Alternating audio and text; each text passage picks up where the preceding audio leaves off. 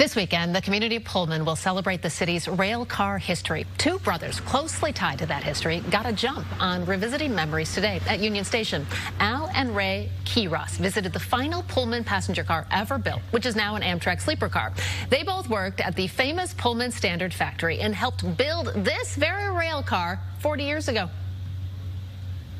I enjoyed going to work. I loved going to work. I enjoyed all the people that were in there. The bosses were nice to me. I worked at Pullman Standard, and the best of my life was still working with Pullman and stay, still in Pullman to this day. Yep, they're born in Pullman, still live there. They're now in their 80s. That car, by the way, is being cleaned up today, then moved down to the Pullman Monument for the Pullman Railroad Days happening this weekend, Saturday and Sunday. Oh, love that story.